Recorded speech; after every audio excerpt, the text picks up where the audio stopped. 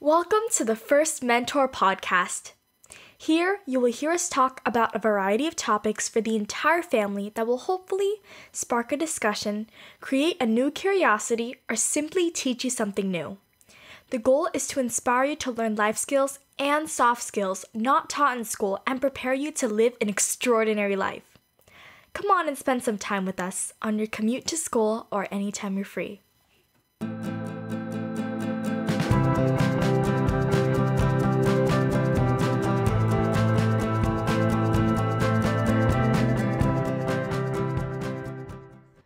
Hello, mentees and parents of mentees. Welcome to our show. This is your host and mentor, Vanessa Yang. And thank you for joining us for episode 29 of the First Mentor podcast. And today we'll be speaking with Carolyn Maul, and she's a professional life coach and wellness advocate with over 20 years of experience. And she holds a master's degree in holistic nutrition and many other certifications. And she's also an expert on shifting your mindset to leverage the power of positive thinking and healthy living. So you're in for a treat, right? Because Carolyn also authored books, including one that we're going to be covering today, which is Wealth Affirmations for Abundance. So I'm really excited to start our discussions and at the end, don't forget to subscribe and share with your friends and family. And if you enjoy this podcast, we would love it if you can comment what you like about it on iTunes or Apple Podcast. And without further ado, let's get started. And today we have a special guest on our podcast, and I would like to welcome Carolyn Maul to the show. Hi, Carolyn. How are you? Hi, Vanessa. I'm so great. How are you doing today? Great. I really appreciate you, you know, come on this podcast because you've helped me before when we met several years ago. And I felt like it was by the universe because I was looking for something. And there you sat next to me at a women's conference, right? uh huh. Exactly. yeah.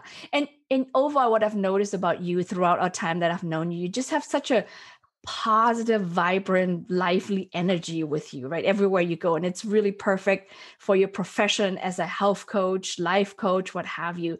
So, to catch our listeners up just a little bit, would you mind sharing more about your background and how you got started in the coaching profession? Absolutely. When I grew up in Ohio, I didn't know anything about coaching except that I played sports in high school, a junior high and high school, all all the seasons, all the sports and I came to really, really respect my coaches. Mm-hmm.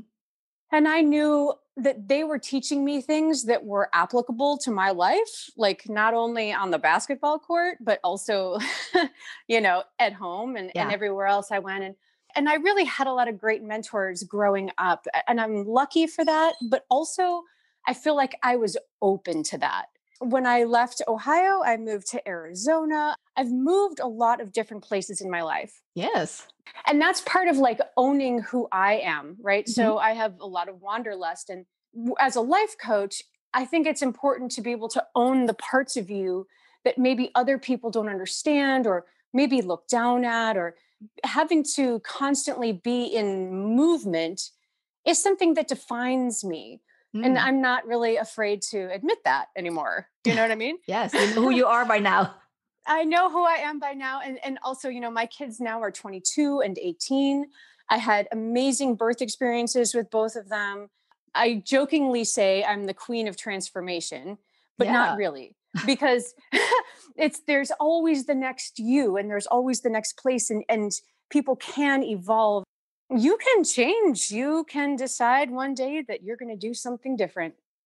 Yes. And it's and, oh and it is a okay. yes, absolutely, absolutely. And how did you start it? How did you enter the industry of coaching? I was doing too many things. Yeah. I was leading the the town's youth soccer program. I had my art in a gallery. Oh, I oh, wow. was racing in triathlons. Like and finally, I just got to the point where I said, you know what, Carolyn, like do one thing and do it well. I can relate though to all those interests in your life. right? Because I'm a yes person. And I think a lot of people can relate to that. Like when you're a yes person, mm-hmm. you just say yes to everything that comes along. Yeah. And sometimes to your detriment. yes, that's true. It could be exhausting. Right. And so I got to that point at about you know like 2003 so i decided i i really took a good look at things and i said you know what is really my passion like what is really what lights me up mm-hmm. and this was the first step to basically like what i would call the life coaching like path that i've been on is i had to do it for myself great so I decided to go back to school and I got a master's degree in holistic nutrition. Oh, yes, I love that. You know, I got a personal trainer certificate, I got two yoga certificate. Like basically, I went into the health and wellness field mm-hmm. head first. Yeah. And that's how I started my first business. I was doing in-home personal training for people because my my kids were little and they were in elementary school and if they had a cold, I had to, you know, yeah. be flexible. Mm-hmm. So that's when I started my first business in health and wellness coaching, seriously just focusing on nutrition and fitness. However, during the when I first started doing that, like probably, you know, 6 months into it, I realized that what I really wanted to talk to people about is why they weren't doing what they said they were going to do. Mm, yes, especially with health and fitness. We all have great New Year's resolutions. Mm-hmm. exactly. And and as a personal trainer, you know, you show up, you you can clearly see what the problem is. You can clearly like tell people what to do to fix the problem. And then you come back the next week and nothing's changed. Yes, that's so true. it really led me to think about the aspects of human behavior that keep people stuck or mm-hmm. inspire them to change. Yes, so true. So and so that's that's how it all kind of started. And like I said, that was in so that was in 2006 when I started my first business. Then in 2010, I moved to New Hampshire with mm-hmm. my kids. I got divorced because that was not a good thing for me at the time. Yeah. And uh, we moved to New Hampshire to be by my dad and my family. And then I worked in primarily like the corporate world of wellness coaching. Ah, okay. So that gave me another flavor of things. Mm-hmm. And then after about six years there, my son had graduated from high school and my daughter was just about to go into high school. You probably are catching on by now that I made my kids move a lot. yes. But I promised my son I would get him through one high school in one town. And I did that. And I promised my daughter the exact same thing. And she was like, Well, why don't we move to California? Ah. Like, I want to go to high school in California. I was like, Well, all right. California okay. is. So we moved to Ventura. oh, wow. Upon her request, basically. Basically, because, you know, we were all pretty much done with New England. Like, mm-hmm. it was a great ride. I was so grateful to be near my dad. We lived in a beautiful home in a beautiful town. Like, it was surrounded by vineyards and farmlands. Like, oh, it was wow. very idyllic. Yeah. But it's New Hampshire and it's like the country. And my kids are like, wait, what are we supposed to do? so we ended up moving to Ventura, and I put her through one high school in one town. Mm-hmm. And she chose a school that had a, uh, a very strong German program because she wanted to do the study abroad program. She oh, wanted to go to oh. Germany. Good for her. And guess what? She did. She did. Mm-hmm. That is so great. I actually, when I grew up, I can relate to your kids. My parents moved around in Germany quite a lot. So I moved around with them like to different mm-hmm. towns every time my dad changed his job. It made me, I, in a way, the person I am, which is more outgoing, easier to make friends. So it's not all bad. I mean, yes, I lost some along the way, of course, but it just made me more resilient and adaptive, I would say. And at the end of the day, they are so grateful for the experiences yeah, that they've had. Right. Because now they see the contrast to their peers who haven't had any of those experiences. That's so true. Yeah. It takes a certain amount of maturity, you know, yes. to be able to learn the lessons that were hard. That's so true. And I want to actually help our listeners define it a little bit more, right? For those who've never really had a life coach before, like you said, maybe they were in high school, middle school, or even college and did sports, so they know what a coach is from an athletic perspective. But a life coach, can you explain a little bit how you would define it and how do life coaches support an individual? Sure. On the outset, I would love everyone to know that my oldest client right now is 73 mm. and my youngest is 17. Oh, wow. It's big range, right? Yeah. Yeah. So I am not a psychologist, I'm not a psychiatrist. I don't prescribe medication. Like Mhm. there is definitely a, a scope of practice that I feel very strongly about adhering to. Mhm. But a life coach is basically someone who gives you the space, like a safe space to be able to explore options in your life. Mhm. Like if something's not working in your life, I can be your sounding board, your confidential sounding board to be able to discuss if is this a repeating pattern? What is what is happening here? Mhm. Or say you're at a point where you just feel really stuck, like you don't know what to do next. You just know that you're constantly unhappy. Mhm. People are not supposed to be constantly unhappy. Yeah, they're not. They're not. Absolutely not. And so when that keeps happening, you have to know that something is amiss. And so a life coach is basically someone who can help guide you through transitions in your life where you know you want to make a change, you are expecting to make a change, you need to make a change, Yes. but either A, you don't know how to start, or B, you need someone to be held accountable to. And Uh-huh. to be quite honest, the accountability factor is where it's at. I think so. I think so because they know they're gonna meet with you, right? If it's I don't know if it's weekly or Mhm. bi-weekly, they're like, uh oh, meeting with Carolyn is coming up. She said I should do XYZ and I haven't done this yet. Yep. And I will hold your feet to the fire. You know what I mean? I think it's really helpful to have somebody, like you said, a, a sounding board, because many times you go through life and that especially as you're growing up, there's just so many questions you have, right? Mm. do I do? What do I like? What do I want to be? I'm not happy, but I don't know what else is out there. And Mhm. sometimes they just don't want to talk to their parents or friends too much because it's more personal. yeah. Have you? So it's like a neutral third party, but somebody who understands you and really listens to you and gives you guidance at, at the same time. One of the things that I'm actually good at that I was gifted with that didn't like I didn't practice it is is intuition.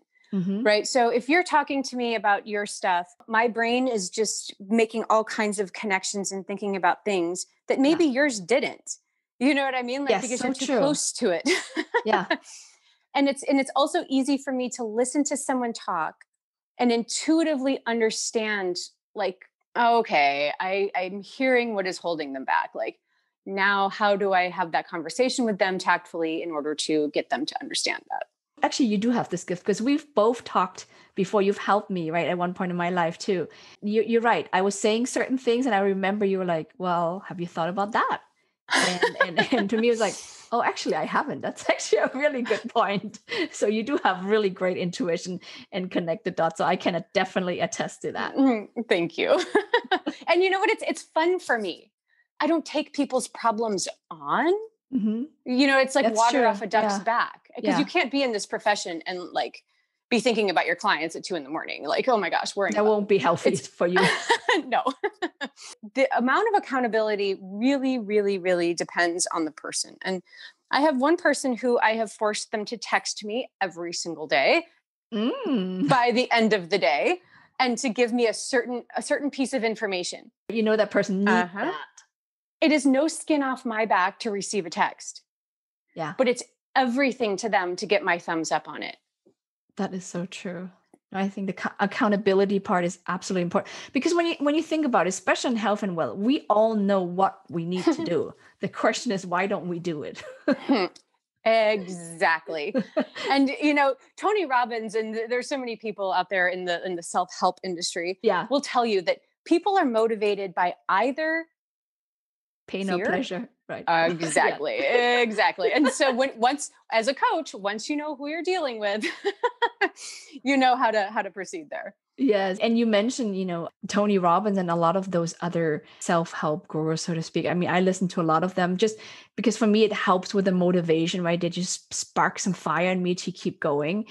And I know besides being a fitness and, and health person, you also, you do so many different things, right, Carolyn? And I, I learned recently that you also authored books. And I think you just recently relaunched your book called Wealth affirmations for abundance right? And i wanted to talk about that a little. Can you share with us like what wealth stands for? Because you use that for different acronyms and maybe help define each of these different areas. Absolutely.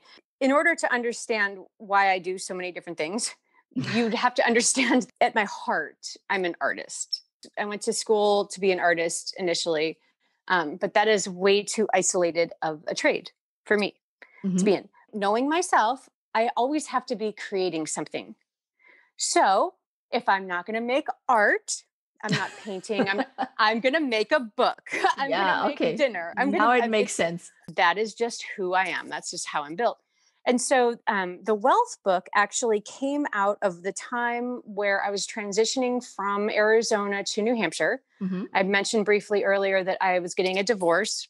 So my kids and I moved to New Hampshire, and you know, we left a very beautiful home, couple mm-hmm. cars, the timeshares, you know what I mean? My business, like we left a very comfortable life mm-hmm. and showed up in New Hampshire with the cat a car that my ex-husband was going to come and get in six months and i had to like $432 oh my god big change it was a period of rebirth and starting over mm-hmm. and in order to manage my own thoughts and my own emotions i started to utilize affirmations yes great and i would go for really long walks i would say things to myself mm-hmm. sometimes mm-hmm. i would say them out loud the thing of it was was that it was a period of time where I learned very very firsthand the power of intention and the power of affirmation and the power of conscious language choices. Yes. Yes. So conscious language choices are a big thing. I talk with my clients about this all the time. So in the book that I wrote, which really, really came as a result of my own healing experience, mm-hmm. Um, the wealth is an acronym wellness, emotions, assets, leadership, time, and happiness. Mm-hmm. Great ones. And so these I really felt were the main areas of people's lives where, or at least in mine, where I was struggling to maintain positivity. How could I change my own language choices in order to support that? Mm-hmm but also how could I help my clients to do the same?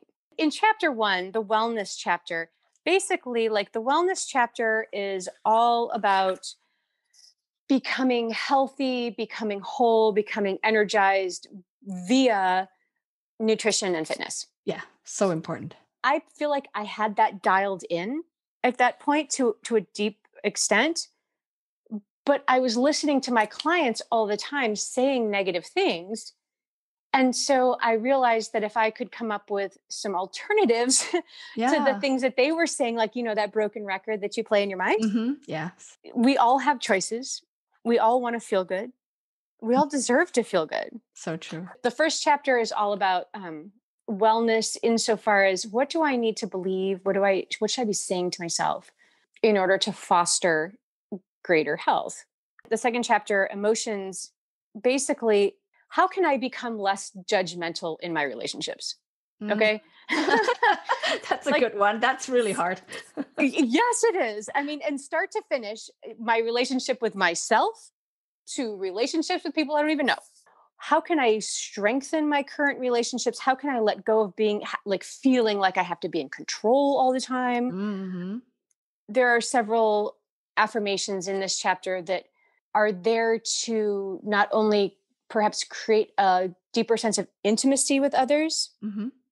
but also allowing people to feel that their vulnerability makes them beautiful.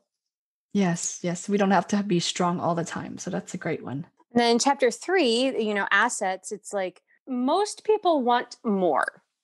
And mm. whether that is more stuff. yes, a lot of people do. uh-huh. or, or more happiness. Most people want more of what they feel like if they're lacking.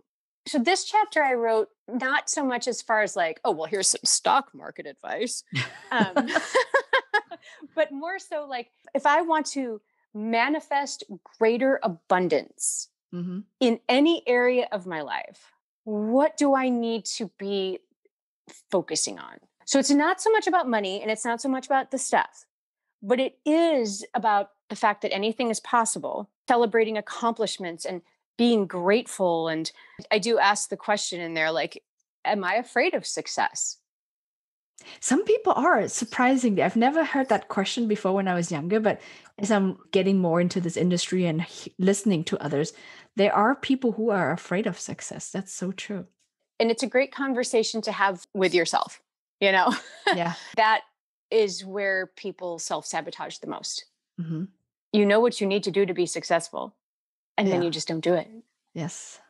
So, anyhow, so chapter four is all about leadership. And when I say leadership, I don't mean like becoming the CEO of a corporation, mm-hmm. but how can you be more effective, more productive, and creative, whether you're at work or at home? Yes. You know, and I think that leadership is a quality, it's not a titled position. This chapter is all about how are you contributing? How are you feeling that you are contributing to the world? Yes, great one. And that can be in your own home, it can be in your town, it can be on the city council, it can be in your church. Becoming a leader just basically means like you show up and you do what you say you're going to do. yes, that's, that's so true. You don't really need to get to a certain title, get to a certain position, right? You could be 10 years old and lead the family in something. Absolutely. it doesn't really matter. Leadership is just, it is a quality. Yes. So, chapter five is all about time. And there again, this comes from not only my own experience, but working with all my clients who typically do not make themselves a priority in their own schedule. No, nobody does. well, not, not enough, I would say, not enough people. there you go. Yeah. So basically, like, so the time chapter is all about affirmations that allow you to feel like you have permission to make yourself a priority in your own life. Yes. To important. acknowledge your needs. And then the, the last chapter, uh, happiness. You know, I start this chapter with a quote. There's a French writer called, his name is Montaigne, and it's, I've lived through so many terrible things, and most of them never happened. that is so, so true.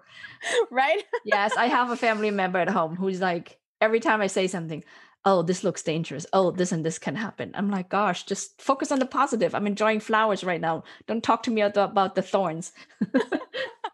People create such unhappiness in their lives by future tripping, right? Like they they yes. project into the future all of these scenarios that are never going to happen but it creates stress and anxiety and so yes like you're saying like focusing on the positive and this chapter is a lot about practicing gratitude. I'm working on and, that myself. Yeah, and and there again, it it is a practice, you know, and so that's why I wrote this book. Is it's small, it's simple, it's just like if you need a little boost in one area at any given time, it's something that you can, you know, pull out and read something that might make a difference in your mindset. I know I'm a really practical person. When I first heard about affirmations, it didn't click with me what that means. So, in case anybody out there listening, they're still kind of feels like they only have a vague idea about i'm not very sure so the way i've learned and you can correct me right for affirmation it's just a set of words like very positive and intentional words that you repeat to yourself on a regular basis in order to achieve specific goals is this what you would define it as more or less, yes. A mantra is a set of words that you could repeat over and over and over. Mm-hmm. When I'm working with clients, when they're making their affirmations, because I don't just tell people what to do, I have two rules. And the only two rules for affirmations are they have to be positive and in the present tense. Mm, yes, I've heard about that. It's important to have strictly positive words, and it's imperative that the sentence is structured in the present tense. So, not like, oh, I'm going to do this, or one day this will happen. It has to be, I am losing weight right now. You're sweating through your workout and you're like, oh my God, I hate the treadmill. No, I am losing weight right now. yes. The purpose of using present tense, based on what I've read, is really for your body and kind of your subconscious for it to register that it's happening right now. It's with you, you're doing it versus this is something in the far future that might happen one day or not at all. But really, present tense is to kind of make it stick with you more. Is that correct? Absolutely. And what's so interesting about humans is that our brains really don't know the difference between now and then. Mm-hmm. Like our brains are only functioning in the here and now. when we specifically state something is happening in the here and now, our brain believes that. Like our nervous system reacts to that. I was just on a road trip. So, say you're in downtown Philly, you're in a really bad neighborhood. You can do one of two things.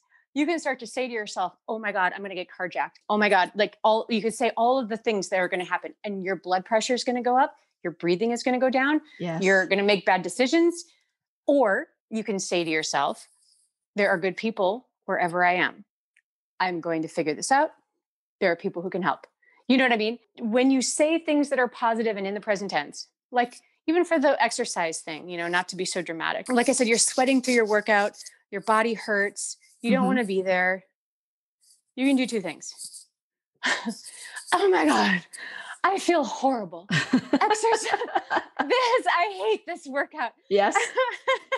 or you can change that up and say, you know, give it a different dialogue like, I'm losing weight right now. I'm becoming healthier right now. My heart loves this. You know what I mean? Like, Yes.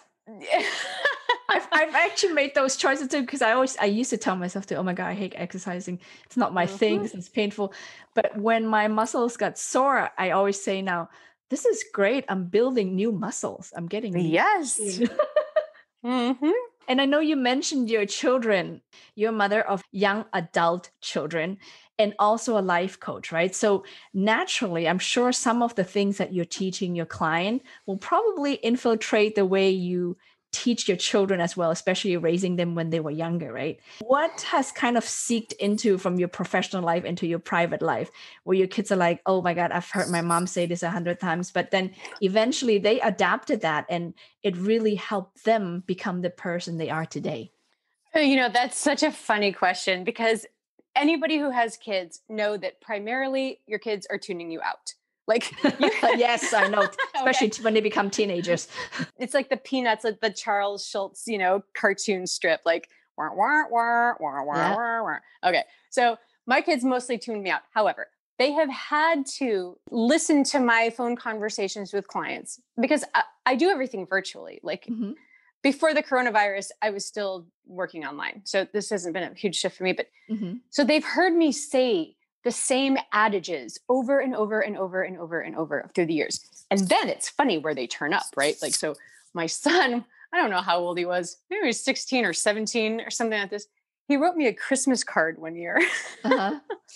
and uh, he was thanking me for being a mom and taking care of him and teaching him specifically that Uh-huh. how you do anything is how you do everything. and this is what you say all the time, right? That's so, but like that is something that he heard and latched onto, right? Yes. So my son has kind of picked up on the more like practical generalizations like this, like how you do anything is how you do everything. This is true. People don't want to admit this, but it really is true. Mhm. My daughter, on the other hand, has become this like very, very righteous, like human rights advocate.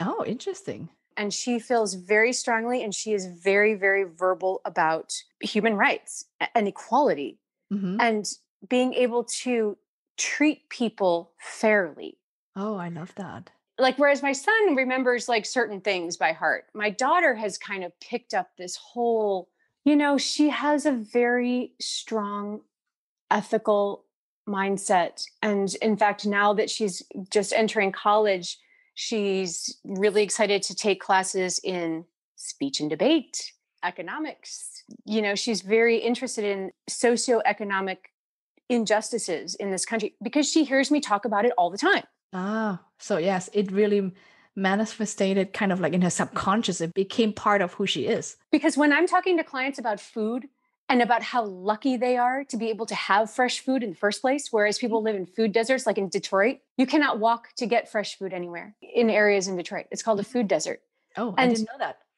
There are many places in this country, in the United States, where people are unable to access fresh food. They don't Oh. have vehicles, they don't have money, they don't even have a store that they could walk to to buy vegetables. When we were living in Flagstaff, we saw this all the time with people on the Navajo reservation. There is a huge socioeconomic discrepancy in this country as far as what people can access in order to create better health. Oh, that's very interesting how it kind of, mm, you know, what they picked up along the way. well, for me, I think it's a little bit intentionally because I, I want to raise them in certain ways that I feel like what are lacking because if if they don't go to school, they either go to classes or they play video games or watch TV or on social media, right?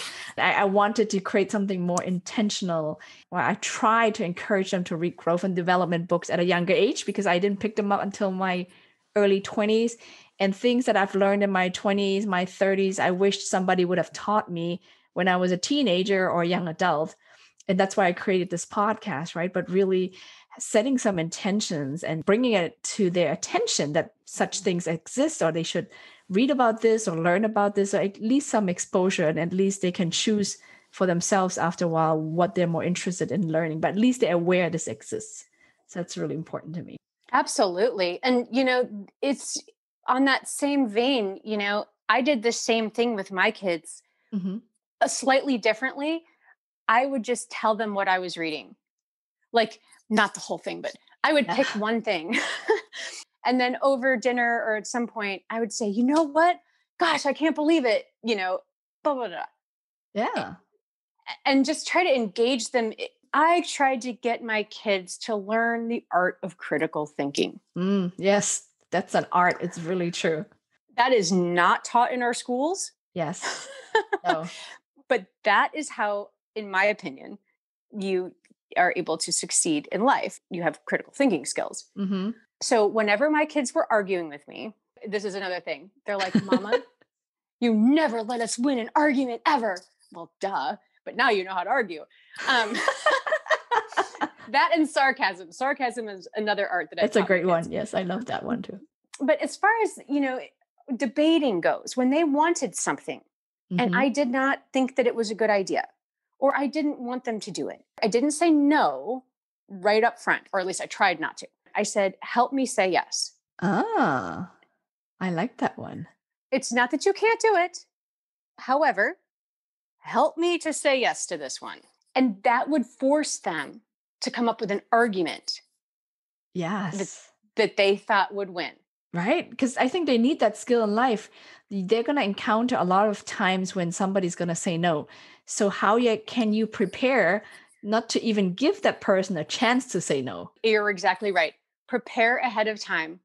Yeah. Help them to say yes. You probably read the book Seven Habits of Highly Effective People, right? Oh, and, Stephen Covey. Just yes. unpack that from a box. Yep. and one of his habits is win-win, right? Think win-win.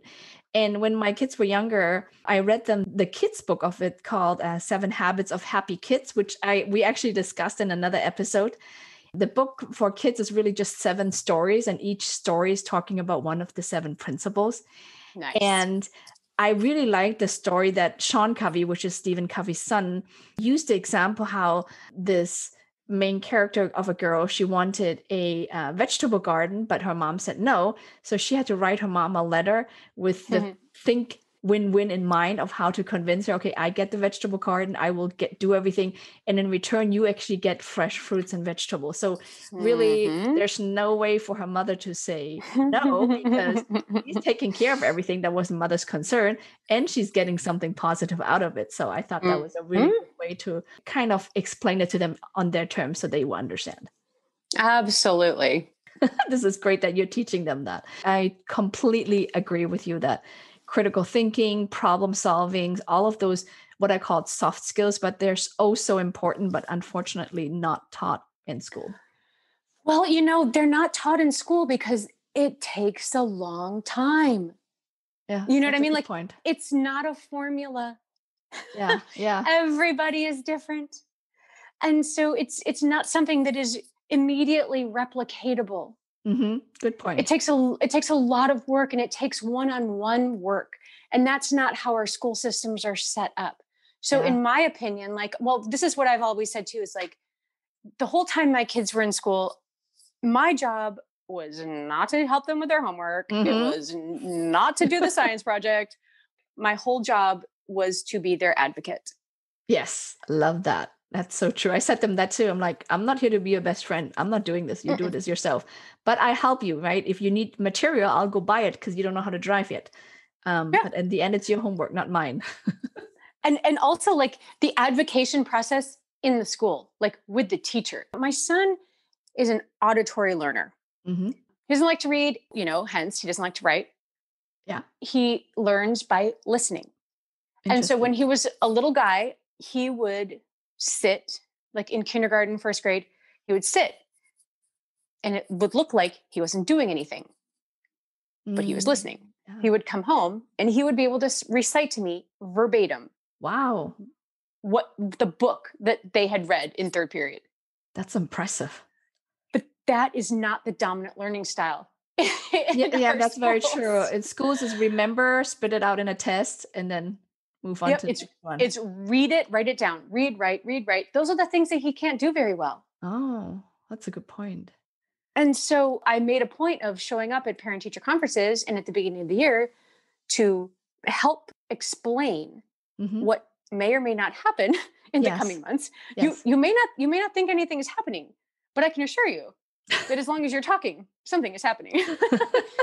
and this is I mean my son went to school every day even if he was sick. He knew that he couldn't miss a class because then he wouldn't learn. oh, wow, that brought him some dedication too, because he knew himself. Because we talked about it. Wow, I like that. buddy get hey this is what do you think you know so being an advocate for your kids and and helping them attain the, the educational there are special needs that everybody has hmm everybody's different Yes. Some people need more autonomy some people need more accountability some people need auditory some people need visual some people are just completely like kinesthetic. People learn differently. Yes. and that's to be expected and respected. You teach your kids i think you taught them a lot of skills and one of the skills is probably to be adaptive because of moving around all these times right? Just like you reinvent yourself all the time and create something new and pivot um, throughout your life i'm sure your kids have learned that too and i know you told me that for 2021 you're working on something new is this something that you're ready to share a little bit with our listeners just in case they want to hear more about it or is it still secret until it's completely done well, is anything completely done ever? So point. I just recently moved from California to, back to the East Coast. So now I'm in North Carolina. Mhm. And I, I came here because specifically I was working with a nonprofit organization. There were plans, there were agreements. I moved across the country. And then life changed. Yes. And so I have had to, once again, really take stock in who I am, hmm what is important, what do I love to do? Like, what makes the time just fly by, right? And that is one on one coaching. And so basically, I have relaunched a one on one coaching program. I'm calling it the, your new normal. All of our lives have been changed so significantly in this past year yes. in this past Mhm. yeah and so many of us have ended up having to being forced to adapt to a new normal right Yes. Yes. and so it wasn't by choice however within any change process there is room for growth and there's room absolutely. for expansion yes. and so I created this program, The New Normal, because I was seeing such great results with one of my clients with this everyday accountability texting thing. He had a very specific goal and he needed to change habits to get there. That's what working with a coach does.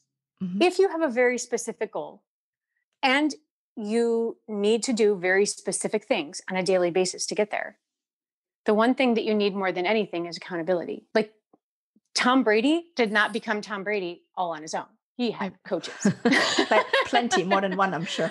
exactly.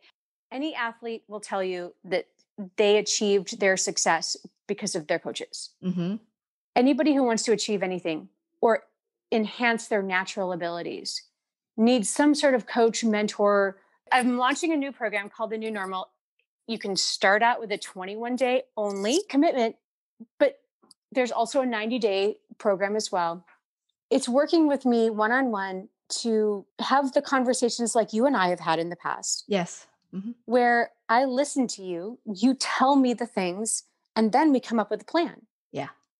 You implement the plan, I give you resources, and then you are accountable to tell me what happened the next week. Then we brainstorm together. At the end of the day, you are doing the work. However, you have to have somebody on your team. So, like when you start a business, you know, you need a business coach, you need an accountant, you need people on your team because you can't do everything. Mm-hmm. Agree. You can't do all of your social media and your accounting and your marketing and be who you are, which is the light of your business. Yeah.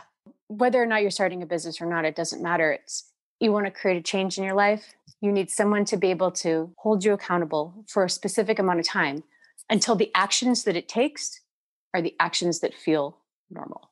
Yeah, I like that. No, I think it's really important that you bring that up to connect change with a life coach because I think that's the, probably the time when you could use one the most, right? Because mm-hmm. change is hard. Most people want to run away from change, not too many embrace it. But in order to grow, to reach the next level of who you could become, you really need to make that change. Otherwise, it's going to be the same over and over. And like one year passed and you look back, you're like, oh, I'm still the same person. Or five it's, years passed, I'm still it's Groundhog's Day. Oh my god. yes, yes. So definitely somebody to push you a little bit, get you out of the comfort zone more, because that's the only way to grow. This is a great way to wrap all of that up. Mm-hmm. Is exactly what you just said. Is that people don't want to change. They're afraid of change, but you but you're forced to experience change. Yeah. And so this is the thing in life the only thing that is constant is change. Yes. Nothing in this universe is static. Yes. However, the number one driving factor within human beings is to feel safe. Mm-hmm. Mm-hmm. Right? So yeah. we want to know for sure that there's a roof over our heads, that we have a job, that we have money, that we have resources. We want to feel safe in our relationships. We want to feel safe. But then there's change. what humans want is the exact opposite of what we get. Yeah. But we need it. we so need it. Right? And we can't get away from it. Like it, it is inevitable. So, how do you deal in your mind with change? Yeah. No, I love that. So, I guess the lesson of today, if we want to wrap it up, is really embrace change if you can as one of the big goals in life because that would just help you to move forward. Frame the words in your head in a positive and present tense. yes, yes, I love that. You you have given us really great little nuggets to really think about, right? What we could work on, what skill sets to develop for our younger audience over the years to just think about a little bit and really look into further. Now, I'm sure you have lots of good information. Is there a particular way for our listeners to follow you or to find out more information about you? My website is just simply my name. It's www.carolynmaul.com. I'm on all the major social medias. So you can find me on Facebook, you can find me on Insta, you can find me on LinkedIn. I don't do Twitter really, I'll be honest. Neither actually. Too many to learn. well, there's just not enough room. I have lots of words. but otherwise, really just reach out to me via email. So just Carolyn at carolynmaul.com. It comes right to me. And mm-hmm. if you have a question about life coaching in general, if you have a question about if it might be a good fit for you and I to work together, just send me an email. Tell me a little bit about what's going on, a good way to reach you. And once again, it's just Carolyn at carolynmaul.com. I promise I will get back to you within 48 business hours and we'll go from there. Yes. Thank you so much, Carolyn. I really appreciated your time and you coming in and sharing really great advice with our audience. And I know you have plenty of unpacking and what have you to do, right? yes, you're the person who continually changes, right? You really exhibit that in in your personal life and what have you. So thank you so much for your time. I really appreciate it. Well, thank you, Vanessa, for having me on and giving me the opportunity to, to hopefully change someone's opinion on yes. one thing in a positive way today. Yeah. So, thank you. Have thank a great you. day. You too. Thank you. Were you able to feel the positive energy that Carolyn Maul displayed throughout our entire conversation? And didn't she have a great view to share about how the words we speak to ourselves really matter? My question to you is how will you incorporate affirmations into your daily lives? For this episode, this is my challenge to our listeners, you, to write down two affirmations that you will repeat to yourselves every day. And remember, they have to be written in a positive way and in present tense. And I would love for you to share what you have incorporated with the hashtag First Mentor Street on Instagram. Thanks so much again for spending time with us, and we'll speak to you in the next episode. Have an amazing day.